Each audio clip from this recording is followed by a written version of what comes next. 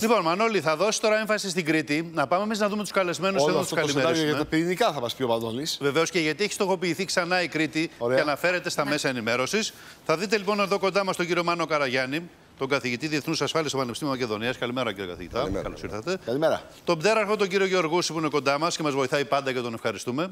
Καλημέρα, Καλημέρα. Και επίσης θα δείτε και τον κύριο Γιάννη Παπαφλωρά, τον νομικό και διεθνολόγο, καθηγητή στρατιωτικών σχολών που είναι στη σύνδεσή μας. Κύριε Παπαφλωράτε, καλημέρα και σε εσάς. Να είστε καλά. Καλη... Καλή καλημέρα σε όλους και χρόνια πολλά στον κύριο Κωστίδη. Βεβαίως, ευχαριστούμε πολύ εκ μέρους του. Μανώλη, έχεις και τα χρόνια πολλά από τον κύριο καθηγητή, τον κύριο Παπαφλωράτο. Ωραία. Λοιπόν, Μανώλη, πάμε να βάλουμε το θέμα λοιπόν της Κρήτης που μπαίνει ξανά έντονα από τα τουρκικά μέσα ενημέρωσης και είδαμε το CNN να λέει ότι η Κρήτη είναι το πιθανό σημείο σύγκρουσης εξαιτίας, όπως λένε, του τουρκολιβικού μνημονίου. Για πάμε λοιπόν να το δούμε το θέμα για να δώσουμε και τροφή στη συζήτηση. Ε, ναι, διότι είχαμε τη θεωρία των στρατιωτικοποιημένων νησιών, που πρέ, ε, των αποστρατιωτικοποιημένων νησιών που πρέπει, δεν πρέπει να είναι στρατιωτικοποιημένα, την αμφισβήτηση κυριαρχία των νησιών και τις απειλές της Τουρκίας ότι μπορεί να αμφισβητήσει την κυριαρχία. Τώρα πάμε νοτιότερα, πάμε στην Κρήτη. Ε, και βλέπουμε ότι μαζί με τους 400 που λένε ότι βρίσκονται εκεί και ότι είναι απειλή για την Τουρκία, ότι κλείσουν τα ραντάρ, τώρα θέτουν και ζητήματα άλλα. Δηλαδή, όταν στα τουρκικά μέσα ενημέρωσης ακούμε και για πυρηνικά στην Κρήτη, νομίζω. Βεβαίως με μια υπερβολή, ε, να πούμε την αλήθεια. Δηλαδή, ε, δεν ε, τα ακούσει συχνά, δηλαδή, η τουρκική ηγεσία δεν έχει πει κάτι τέτοιο, αλλά ο, ο Τούρκος πολίτης δεν ξέρει, ακούει. Ο Τούρκος πολίτης λέει: Όπα, πυρηνικά βάζουν οι Έλληνες και οι Αμερικανοί ένα, κοντά μας. Έτσι είναι. Ε, ακούν, βλέπουν την εμβέλεια του ραντάρ, δεν ξέρω αν δείχνει και την εικόνα, και που φτάνει σχεδόν μέχρι την Τουρκία, σου λέει: Όπα, θα μας κλειδώσουν. Βέβαια και η Τουρκία έχει τα S400, μπορεί να κλειδώσει όλο το Αιγαίο. Αυτό δεν έχει αυτό σημασία. που είπε και ο Μπαξελή, Μανώλη. Το είπε και ο Μπαξελή, αυτό είναι στην εμβέλειά μας, λέει, στα ραντάρ μας. Ακριβώς, στα ραντάρ μας. Ε, και νομίζω επειδή υπάρχει και το τουρκολιβικό μνημόνιο υπήρχε. Ε, Τέλος πάντων, στα χαρτιά υπάρχει. Αλλά και υπάρχει τη θεωρία της Τουρκίας για την υφαλοκρηπίδα της ε, που λέει ότι φτάνει μέχρι τα 6 μήνυμα από τα νησιά. Ε, ήρθε η Ελλάδα σε αυτό και απάντησε με έναν ισχυρό τρόπο, με μια ισχυρή χώρα, με την Αίγυπτο. Και το ακύρωσε, διότι η Αίγυπτος, επαναλαμβάνω, είναι πολύ ισχυρή χώρα. Όσο δεν τη φαντάζεστε, και αυτό αποδεικνύεται ότι η Τουρκία άλλαξε την πολιτική της, υποχώρησε στο ζήτημα των αδερφών μουσουλμάνων, τώρα προσπαθεί να προσεγγίσει η Τουρκία την Αίγυπτο, για να καταλάβουμε πόσο ισχυρή χώρα είναι και η Αίγυπτος.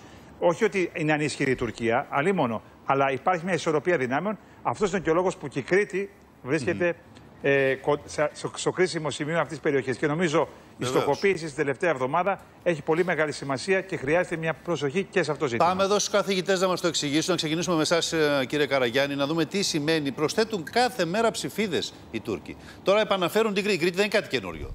Το έχουμε ξανασυζητήσει εδώ, το έχουμε ξαναπεί. Το ξαναβάζουν στο κάδρο. Τι σημαίνει αυτό; Κοιτάξτε, θέλω να ξεκινήσω πολύ γρήγορα με μια διαφορετική προσέγγιση και είμαι και λίγο περίεργος αν θα συμφωνήσει μαζί μου ο κ. Κωστίδης.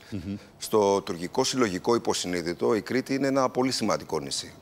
Είναι ένα νησί από, από το οποίο προέρχεται ένα κομμάτι της τουρκικής κοινωνίας. Αν δεν κάνω λάθος, ο ίδιος ο αρχηγός της τουρκικής ε, αξιωματικής αντιπολίτευσης, κ. Κυριτζάλογλου, είναι mm -hmm.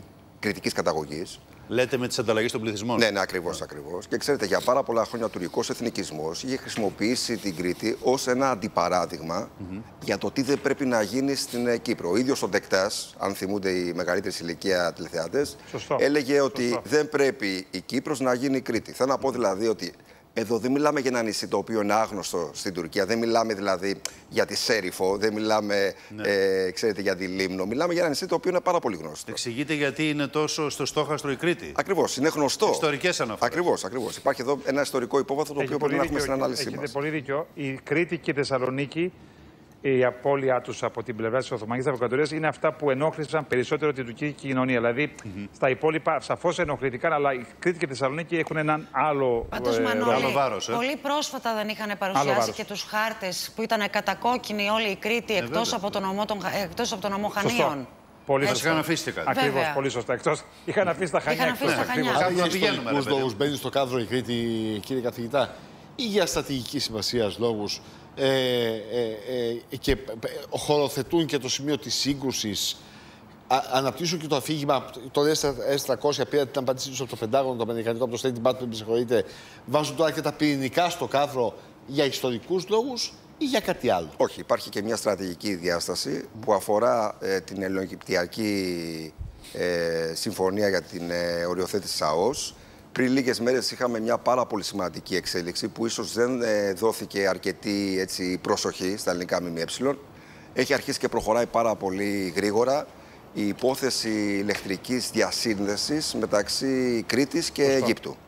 Αυτό σημαίνει πρακτικά ότι σε λίγα χρόνια από τώρα θα παράγεται φθηνή πράσινη ενέργεια στην ε, Αίγυπτο και θα μεταφέρεται με ένα υποβρύχιο καλώδιο στην Κρήτη και από εκεί πέρα στην υπόλοιπη Ελλάδα. Αυτό, ξέρετε, θωρακίζει όχι απλά την Ελλάδα. Ε, δημιουργεί μια νέα δυναμική στην Ανατολική Μεσόγειο και να το πω λίγο απλά, ε, η Τουρκία χάνει το παιχνίδι σε ό,τι αφορά το τουρκολιβικό μνημόνιο. Περί αυτού πρόκειται. Αλλά υπάρχει και ένα ιστορικό υπόγραφο το οποίο πρέπει να έχουμε πάντα στο, στο μυαλό μας. Να μας πει ο κύριος Παυφλωράτο πάνω σε αυτό, κύριε καθηγητά, τι λέτε; Ναι, συμφωνώ απολύτως με τον κύριο Καραγιάννη. Ε, σίγουρα αυτή η εξέλιξη αποδυναμώνει σφόδρα το ήδη ανυπόστατο του κολυμπικό μνημόνιο και γι' αυτό ίσως οι Τούρκοι βλέπουμε ότι το τελευταίο διάστημα είναι ένας από τους λόγους που έχουν κλιμακώσει τόσο πολύ τη ρητορική τους. Προσωπικά πιστεύω ότι αν υπήρχε ένα Νόμπελ ψευδολογίας, διαστρέβλωσης των γεγονότων και της ιστορική πραγματικότητας, θα το έπαιρνε επάξια σήμερα η τουρκική πολιτικοστατική ηγεσία.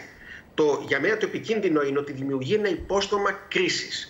Δηλαδή καλλιεργεί συνεχώς την εικόνα και στην τουρκική κοινή γνώμη και προσπαθεί και στη διεθνή κοινή γνώμη να καλλιεργήσει το θέμα ότι υπάρχουν διαφορές, ότι η Ελλάδα είναι επιτιθέμενη χώρα, ότι η Ελλάδα προκαλεί με επιθετικές ενέργειες και η Τουρκία ως αμυνόμενη κάποια στιγμή θα αντιδράσει. Εάν βάλουμε στο κάδρο και Γιατί τα γεγονότα στην εσωτερική πολιτική σκηνή. Μισό λεπτό, κύριε Παυλόπουλε. Αν βάλουμε και στο, το κάδρο στα γεγονότα στην εσωτερική πολιτική σκηνή, που εγώ δεν θέλω να επεκταθώ, που θεωρεί ενδεχομένως η Τουρκία ότι είναι αποδυναμωμένη αυτή τη στιγμή η ελληνική κυβέρνηση, τότε αυξάνονται κατακόρυφα οι πιθανότητες ενός επεισοδίου. Προσωπικά δεν, δεν πιστεύω ότι είναι πιθανό μέχρι τουλάχιστον τον Νοέμβριο. Μιλάτε για κοντά στην Κρήτη. Για την Κρήτη, μιλάτε για το νοτιοανατολικό κομμάτι της Κρήτης. Ναι. Δεν είναι απαραίτητο να είναι στην Κρήτη. Ναι. Σίγουρα μπαίνει αυτή τη στιγμή στο κάδρο και η Κρήτη, αλλά πιστεύω ότι ουδής εχέφρον, τουλάχιστον στρατιωτικός, θα προειδοποιούσε τον αντίπαλό του για το πού πρόκειται να κάνει ένα επεισόδιο. Δηλαδή είναι πιο πιθανό από λοιπόν, ποτέ τώρα σε αυτή τη φάση αυτό, μας λέτε; Είναι, λέω πολύ απλά ότι είναι μια περίοδος όπου ελοχεύουν πολλοί κίνδυνοι. Α είμαστε προσεκτικοί. Άρα πρέπει να υπάρχει αγαγέ εθνικό μέτωπος. Εθνικό μέτωπο mm-hmm. διότι πολλές φορές η Τουρκία εκμεταλλεύεται την εσωτερική πολιτική κατάσταση της Ελλάδος. Το έχουμε δει το 1994. Λέτε κάτι, κύριε Παπαθοράτε, μου ένα λεπτό.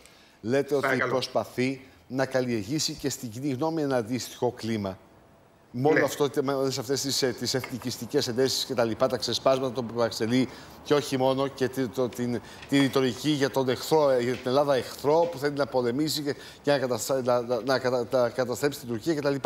Άρα καλλιεργεί μια ενδεχόμενη, μια πιθανή, πιθανή νομιμοποίηση του επεισοδίου που έχει στο μυαλό του, αν χρειαστεί να το κάνει.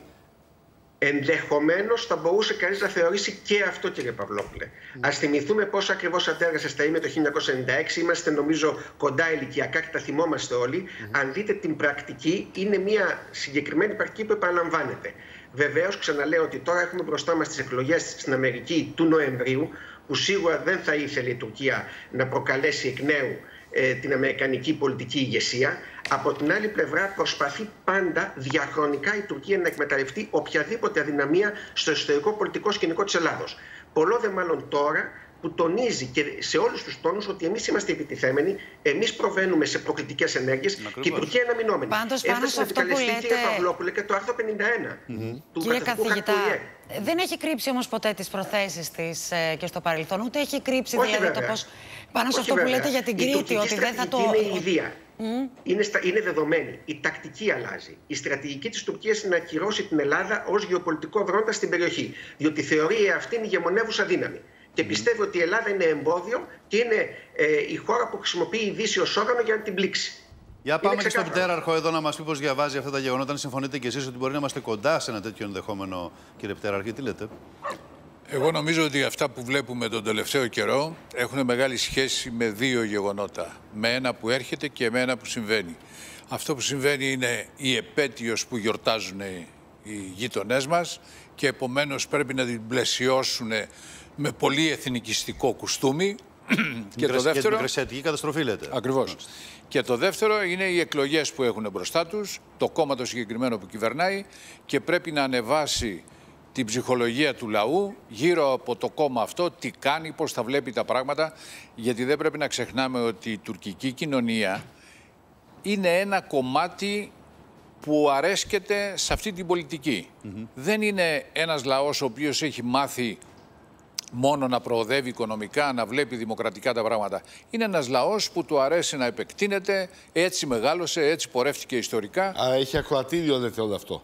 Όλο αυτό έχει ακριβώς ακροατήριο και έχει πολλούς, πάρα πολλούς ψήφους. Εκεί που λιγάκι θα διαφοροποιηθώ, δεν, το βλέπω, δεν βλέπω πιθανό επεισόδιο όχι διότι δεν έχει τη δυνατότητα ή δεν έχει την όρεξη η Τουρκία να το δημιουργήσει με την Ελλάδα, απλώς για να κάνεις ένα επεισόδιο πολιτικά ελεγχόμενο και αποφασισμένο, πρέπει να έχει ένα στόχο. Mm -hmm. Αυτός ο στόχος λοιπόν αυτή τη στιγμή ούτε φαίνεται ούτε μπορεί να επιτευχθεί εις βάρος της Ελλάδος και του ελληνισμού. Πάντως κινείται εναντίον όλων, η ρητορική είναι εναντίον όλων, Ακριβώς. εναντίον των ΗΠΑ. Αδειάστηκε μεγαλοπρεπώς από το State Department για τους S300, κύριε Πτέραρχη. Αυτό είναι μια ήττα, αν μπορούσε να το πει κανείς για την Α, τουρκική διπλωματία. και αφετέρου, ξέρουν όλοι οι σύμμαχοι ότι ό,τι λέει για τους S300 τους δικούς μας, mm στο συγκεκριμένο επεισόδιο, είναι όλα ψέματα. Θα σας πω έτσι λίγο το τεχνικά. Το ξέρουν όλοι οι σύμμαχοι. Που το ξέρουν όλοι οι σύμμαχοι. Όλοι οι σύμμαχοι. Ξέρουν ότι ό,τι βλέπουν τα αεροπλάνα ότι τους παρακολουθούν καταγράφονται. Εάν λοιπόν αυτό ήταν γεγονός, έπρεπε να είχε κατατεθεί. Πρώτον. Λέτε το λοκάρισμα από το 400. Το λοκάρισμα καταγράφεται. Αν το είχαν, θα το είχαν δώσει Ακριβώς. Με ημερομηνίες, με όλα. Δεύτερον, το ελληνικό σύστημα αεράμινα δεν δουλεύει έτσι. Πιάνουμε ένα ραντάρ, το βάζουμε και εγκλωβίζει. Δουλεύει με εθνικούς κανόνες εμπλοκής, λειτουργούν θεσμικά, mm -hmm. κάνουν τη δουλειά τους. Γνωρίζει τον ΝΑΤΟ. Ακριβώς. Και το πιο μεγάλο ψέμα είναι αυτό που λένε ότι τους παρενοχλούμε ενώ είναι στο FIR Αθηνών. Mm -hmm. Ήδη έχουν κάνει δηλαδή παράβαση. Άρα το παραδέχονται. Αυτό είναι και μια παραδοχή αυτό. Ακριβώς. Και ότι είναι σε ανατοϊκή αποστολή. Ποια ανατοϊκή αποστολή; Εάν έχεις νατοϊκό καπέλο, δεν μπορείς να κάνεις παραβιάσεις. Mm Όταν πάμε και τους λέμε γιατί νατοϊκή χώρα κάνει αυτά τα πράγματα, λέει δουλεύουμε με εθνικό καπέλο. Επομένως, τα ψέματα στην πολιτική έχουν φαίνεται την ε, θεωρία Μια του τελευταία Γκέμπελ. κουβέντα από τον κύριο Καραγιάννη. Πες, πες, πες. Πιστεύετε ότι μέχρι τις εκλογές αυτά ή μετά τις εκλογές τουλάχιστον όποιο και να είναι το αποτέλεσμα θα τελειώσει αυτό ή όχι. Είναι μια στρατηγική της Τουρκίας που θα συνεχιστεί και μετά; Κοιτάξτε, εγώ ενστερνίζομαι εδώ και πολλά χρόνια την άποψη ότι η Τουρκία δεν πρόκειται να αλλάξει τη στρατηγική εκτός αν αναγκαστεί. Mm-hmm. Δηλαδή δεν είναι θέμα εδώ πρόσωπων. Γιατί δείτε λίγο ποιοι είναι στην αντιπολίτευση. Δείτε λίγο τι λένε οι ηγέτες αντιπολίτευσης. Λένε χειρότερα πράγματα από ό,τι ο Ερντογάν. Επομένως, ε, η Τουρκία είναι όπως ένας σεισμός. Πρέπει να μάθουμε να ζούμε με το σεισμό δυστυχώς. Mm-hmm. Ξέρω ότι αυτό δεν αρέσει σε πολλούς. Δεν αρέσει σε πολλού. αλλά, αλλά ξέρετε, δεν επιλύονται όλα τα προβλήματα mm-hmm. ανάμεσα σε κράτη. Δηλαδή... Άκουσες Μανώλη; Θα μάθουμε να ζούμε με αυτό. Δεν είμαι πολύ αισιόδοξο. Δεν είστε πολύ αισιόδοξο. Είναι φανερό. Ε, να προσθέσω κάτι. Τελευταία κουβέντα, Μανώλη, κλείνουμε.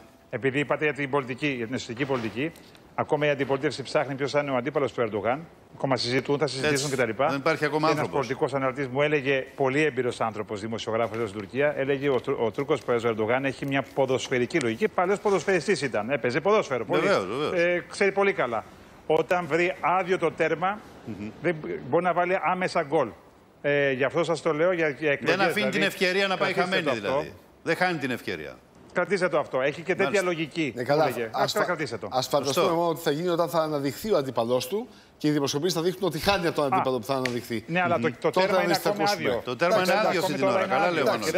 Δεν βάζουν τερματοφύλακα μέχρι στιγμής. Σωστό, σωστό, σωστό Μανώλη. Λοιπόν. Καλημέρα, καλημέρα Μανώλη. Μου χρόνια πολλά και πάλι.